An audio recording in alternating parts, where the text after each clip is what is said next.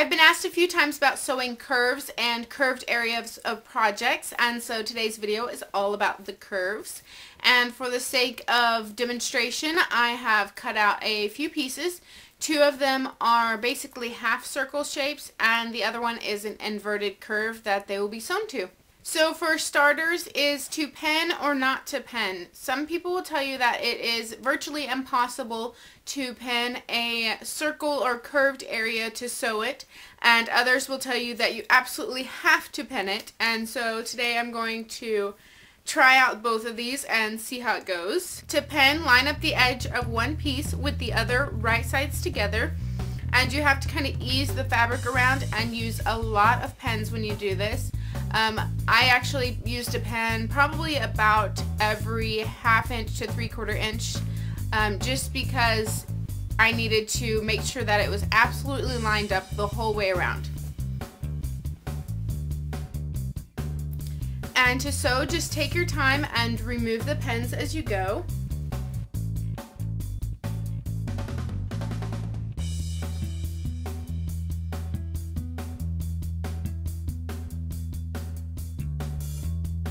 For the second option, you would line up your pieces as before, right sides together at the corner, and go very slow and ease the circular piece around to line up with the inverted edge.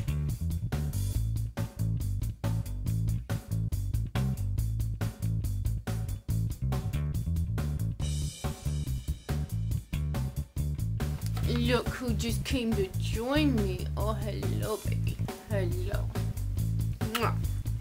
So this first side is the one I pinned and it ended up with a few puckers in it.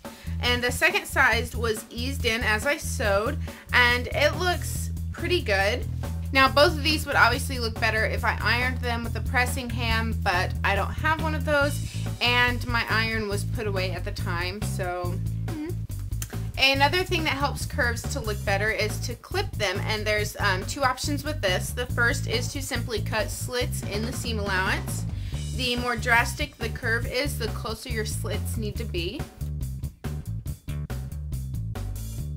You can also clip small triangles out of the seam allowance and this helps things lay better and look nicer from the inside.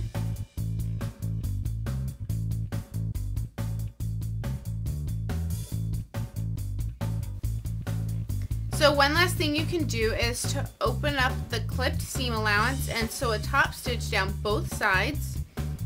This gives your project a nice finished look on the inside and the outside and adds a little extra detail with the top stitch.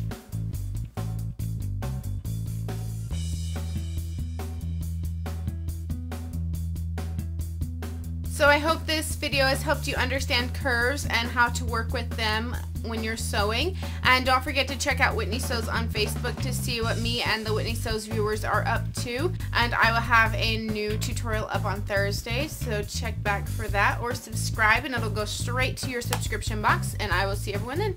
Bye!